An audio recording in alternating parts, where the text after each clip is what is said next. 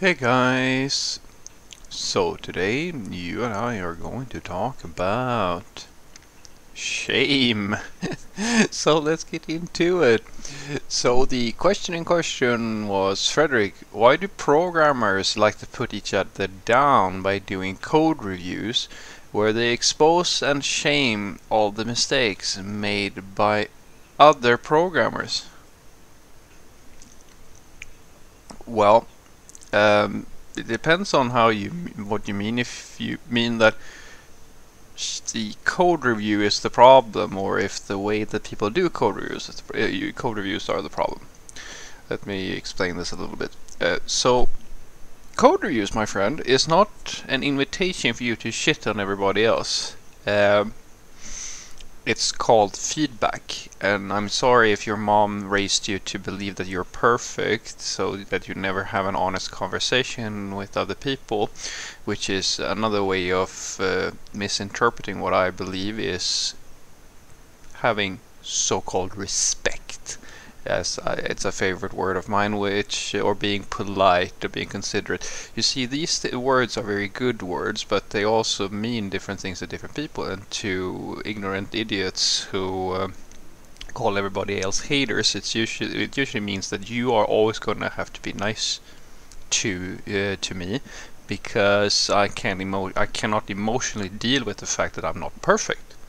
And a code review is such a situation where in order for us to ship software that actually works, we're going to have to talk about the code that you wrote. And if you can't figure out that even if you were to write the simplest thing in the world, doesn't even have to be software, there is a chance that you have a spelling error or that somebody else finds the thing that you wrote less than ideal. No matter how much energy you put into it, it's up for interpretation. If you don't get that, then I'm sorry. Then you have emotional problems that I cannot help you with, and I suggest that you do and go some uh, growing up, some serious growing up, and uh, learn how to be emotionally stable enough to be wrong or to be to make something that is not something someone else thinks is all that good and be fine be fine with that and just adjust it personal maturity my friend or personal strength call it whatever you want is necessary because the code review is a necessary step in order to ship working software because the problem is that if you don't review code as a software team. It's impossible for you to get to know how to sort of align on how to do things. It's a, a, platform for conversation related to how should we write software. And that doesn't necessarily mean that one person is better than the other. It just means that if you see me write things in a certain way, then your mind is going to go, okay, Fredrik writes it that way, and there seems to be some pattern here. Maybe that's a better pattern, or maybe it's a worse pattern. Let's talk about it. Let's see if we can align on how to write better software so we actually become more of a team rather than an ad hoc group of individuals who kind of just do their own thing. Because if we don't do that, then all of a sudden you realize the one person is writing everything in a functional style, and another person does it in object-oriented style, and a third person does it in a declarative or like whatever, you know. And this is a problem. It's a serious problem if you can't align. It's sort of the equivalent of saying that we when you're working in an orchestra or something like that, we should just not play the same song. We'll just play it at whatever pace we want, however we want it. It's not going to create music, or it's you know it's going to blow the whole thing up. However, you can also talk about something that I think is interesting, and that is that people do actually go really hard on people in code reviews and things like that which is also something that happens. And it usually happens because for each person, different things are important. And for some people, some things are important. For some people, some other things are not important. And that's what's so difficult for people to, to accept, usually.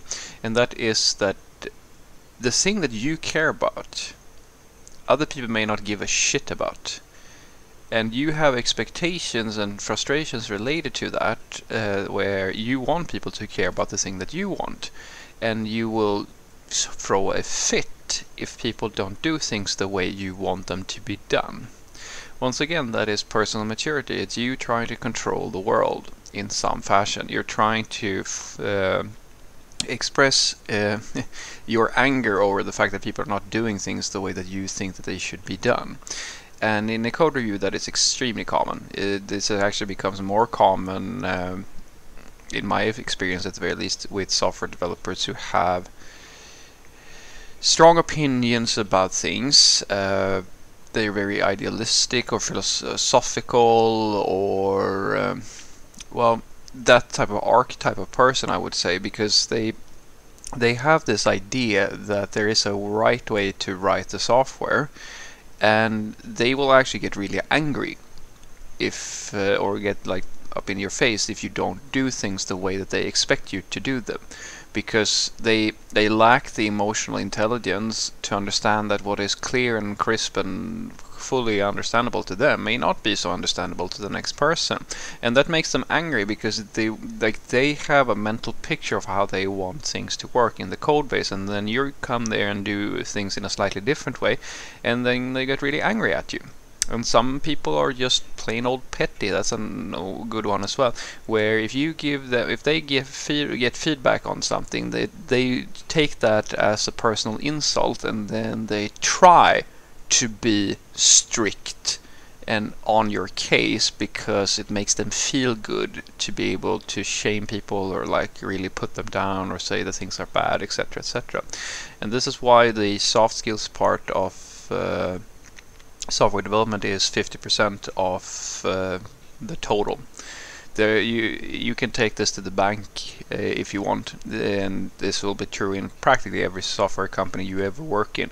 The main two things that the recruiters and the, the interviewers are going to consider when they hire you is 50% your tech skills and 50% your soft skills because software development on average at scale is a team it's a team event or it's something you do as a group and if you have a bunch of people who do really mean code reviews or are not so nice to each other it becomes it becomes a very toxic environment very quickly. And so in that regard, I actually think it's a little bit funny because in many in, in many ways, I suspect that people who did a lot of sports as kids would be is they're more equipped to deal, at least in some cases, with this sort of situation. Because working in a team means giving and taking. It means compromising. It means understanding the greater purpose and understanding that people are at different skill levels and so forth and so forth. And people who are very individualistically minded and very selfish in a sense are not so good at thinking in those broader perspectives. So, what I want you to take away from this is that, well, if you ask about why we do code reviews, it's not to expose shame or make mistakes. It's if that is your perspective, it's probably you who is the problem. You should do some serious personal reflection and grow your your confidence because, you know, someone can tell you that you're doing things in a way that is not appropriate and so forth, and not because they want to shame you, but because there is actually a need for you to make a change. An example would be if you have a personal trainer. Are you going to shoo that person out for telling you that you should probably adjust your feet when you're lifting weights or something like that? Is that a personal attack on you? No, it's not. So you should learn how to be a grown up. But if the on the other hand, if we're talking about why people are mean in code reviews. It's usually, as I said, because they have this idea that the the code should look a certain way or the way the, there is a right way of doing things and so forth and they have a short fuse and they like to push people down because of personal immaturity or personal anger or other sort of issues like all of that stuff happens.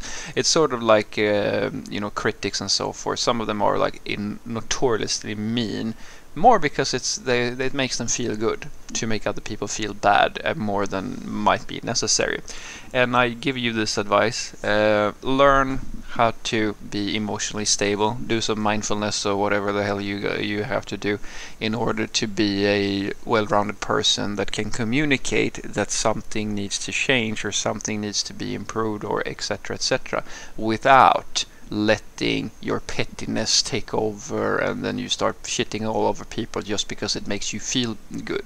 So try to make a difference between information or like constructive criticism that is necessary to relay to improve the situation and you just having a having a personal itch that you need to scratch. Have a great day.